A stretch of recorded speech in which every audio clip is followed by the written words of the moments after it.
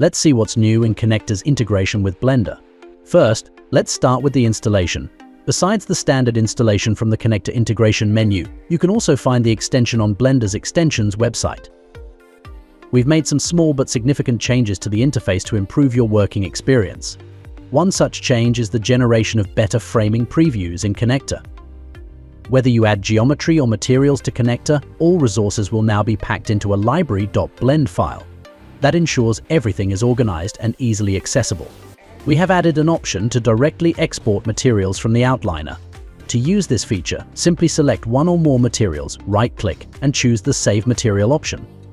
Another interface enhancement is how geometry behaves when dragged into Blender. Now, as you drag an asset, it follows the normals of the surfaces, making placement more intuitive. We've also made it easier to rotate geometry around the local z-axis on the fly by clicking and dragging with the right mouse button. Here's how it works. Drag a model into Blender and choose Link or Append object that will put you in Populate mode. Then, right-click and drag to rotate the object.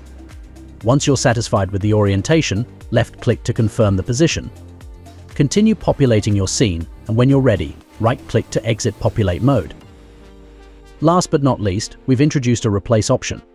When you drag an object into Blender, Connecter now recognizes objects under the mouse cursor and offers the option to replace them. If the objects are linked, you can replace them all while preserving their position and orientation. Stay tuned for more helpful Connecter tips and tricks.